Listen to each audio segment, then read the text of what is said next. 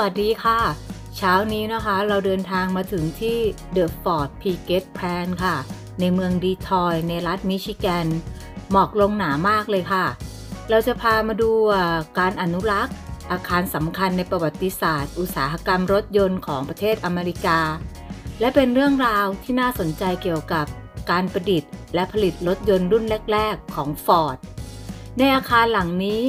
ซึ่งจะถูกลื้อถอนจากคนที่ซื้ออาคารหลังนี้ต่อจากเฮนรี่ฟอร์ด แต่ด้วยเพราะอาคารหลังนี้สร้างเมื่อปี 1904 และเป็นที่ผลิตรถยนต์ ยี่ห้อ Ford Model T จึงทำให้ผู้คนหลายกลุ่มและองค์กรต่างๆ ช่วยกันบริจาคเงิน เพื่อจะซื้ออาคารหลังนี้เก็บไว้ ในที่สุดก็ซื้อมาได้ค่ะ มีอาสาสมัคร มีนักสะสมรถยนต์ที่ห้อฟอร์ดทุ่มเทกันดูแล ช่วยกันทำความสะอาด จากอาคารที่ถูกทิ้งร้าง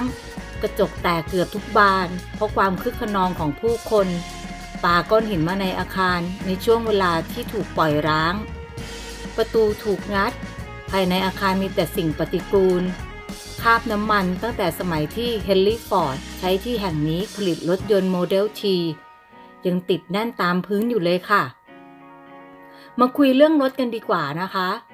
นอกจากรถยนต์นะคะ ในพิพิธภัณฑ์แห่งนี้ ก็ยังมีรถม้าหลายคัน ให้เราได้อิ่มตาอิ่มใจในการชื่นชมรถคลาสสิกค่ะ โดยเฉพาะเราสองคนเป็นผู้ที่ชื่นชอบรถคลาสสิกอยู่แล้ว เรียกว่าอาหารตาชั้นเลิศเลยค่ะ พิพิธภัณฑ์แห่งนี้จะเดินเองแบบชิวๆไม่ได้นะ เราจะต้องจองทัวร์ค่ะ มีไกด์ให้ข้อมูล ซึ่งใช้เวลาประมาณ 2 ชั่วโมง แต่ไกด์เราใจดีจัดให้ 3 ชั่วโมงครึ่งเลยค่ะ ดูแบบเพลินๆจนลืมเวลากันไปเลย ไกด์ของเราชื่อลุงทอมเจนัวค่ะ เป็นหัวหน้าไกด์ของที่นี่ อดีตวิศวกรทำงานที่ฟอร์ดนี่แหละค่ะ ตอนนี้แกเกษียณอายุแล้วแถมยังเป็นหนึ่งในจำนวนอีกหลายคนที่ช่วยบริจาคเงิน เพื่อซื้ออาคารหลังนี้ ลุงทอมกระซิบบอกว่า มีหุ้นในฟอร์ดนิดหน่อย ไกด์ทอมนะคะ รู้ทุกอย่างเกี่ยวกับประวัติของฟอร์ดยินดีตอบคำถามมากมาย โดยเฉพาะคำถามของเราสองคน เจ้าหนูทำไม เรียกว่าเป็นสารานุกรมที่มีชีวิตของฟอร์ดโดยแท้จริงค่ะ มีความรู้และกระตือรือร้นมาก และรู้ประวัติเบื้องหลังรถแต่ละรุ่นที่จัดแสดง ก่อนที่เราจะเข้าไปในพื้นที่ที่โชว์รถคลาสสิกนะคะ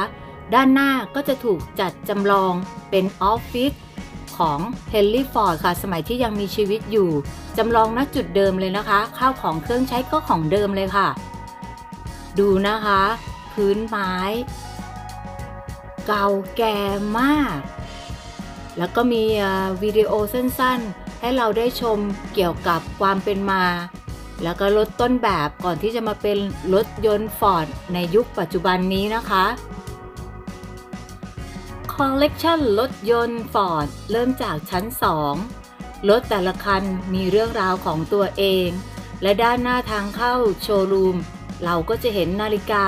ที่ใช้ตั้งแต่สมัยเฮนรี่ฟอร์ดทำงานค่ะ และมีแผงตอกบัตรของพนักงาน ซึ่งมีประมาณ 300 ช่องค่ะ นั่นแสดงว่าพนักงานทำงานที่นี่อย่างน้อยก็ 300 คนค่ะ อาคารมี 3 ชั้นดั้งเดิมที่สร้างขึ้นโดยเฮนรี่ฟอร์ด มีลิฟต์โรงงานที่สร้างจากเหล็ก ลิฟต์แบบนี้นะคะ เหลือไม่เกิน 3 ตัว ลิฟต์ใหญ่พอที่จะยก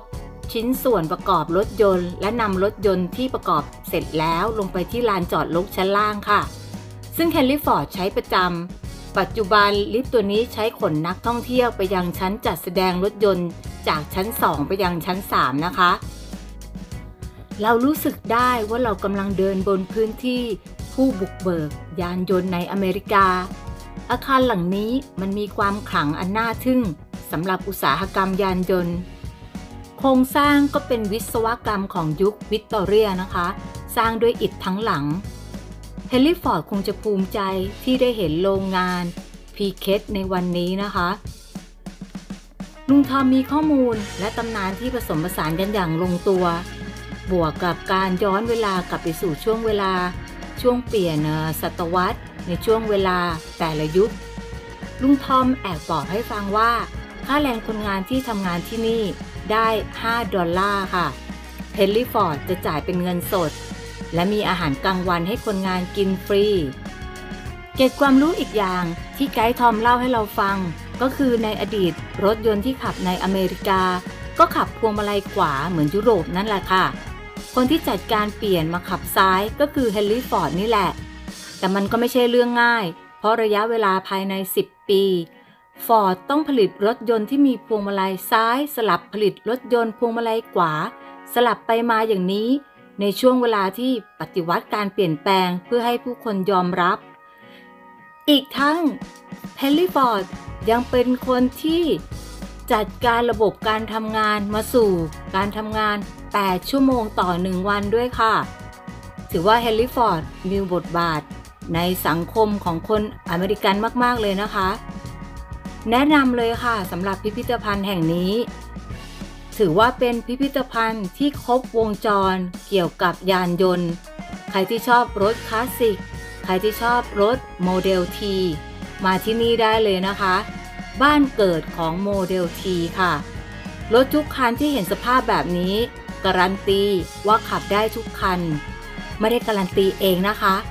ไกด์ทอมบอกมาค่ะ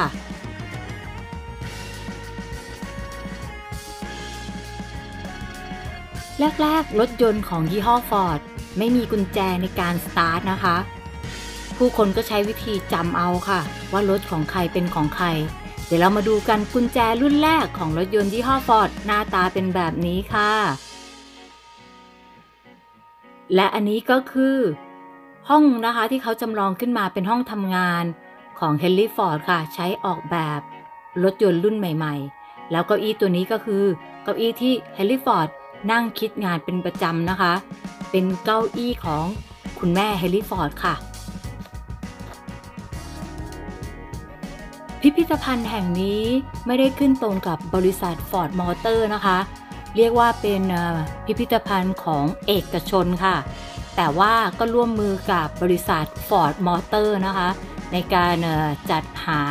พวกรถต่างๆ มารวมไว้ที่นี่ โดยเฉพาะรถยนต์ โมเดล T ค่ะ เพราะตรงนี้ถือว่าเป็นบ้านเกิดนะคะของรถยนต์ประเภทนี้ มีการจัดแสดงให้เราเห็นขั้นตอนในการผลิตขึ้นมาเป็นรถยนต์หนึ่งคัน ให้ทุกคนได้เห็นด้วยนะคะ มันเป็นความสุขมากที่เราได้เดินในสถานที่จริง และสภาพก็ยังอนุรักษ์ให้อยู่ในสมัยในยุคที่เฮนรี่ฟอร์ดเคยใช้ทำงานค่ะ และโมเดลรถแต่ละคันก็คลาสสิกมาก ๆ เลยค่ะ แต่บอกตรงว่า ระหว่างเดินนะคะ ระหว่างทำทัวร์อ้อยมองตัวอาคารมากกว่ารถยนต์อีกค่ะ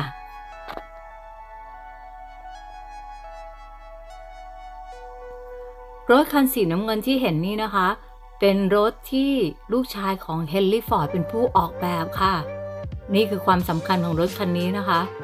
สไตล์ก็จะแตกต่างจากพวกรถโมเดล T นะคะ ขนาดก็จะมีความใหญ่กว่าค่ะ พอเราชมใน museum เสร็จแล้วนะคะ ออกมาด้านนอก เราก็เจอรถสุดคลาสสิก อันนี้คือ Booking Tour นะคะ คนละ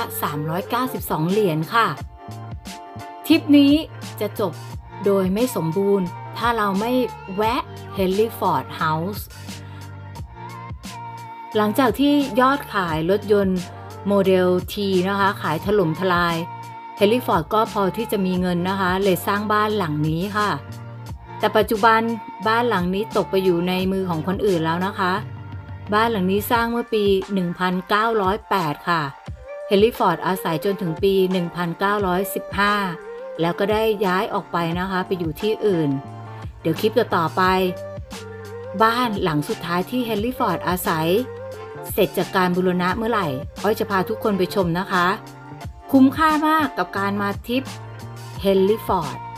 ขอบคุณค่ะที่ติดตามชม บ๊ายบาย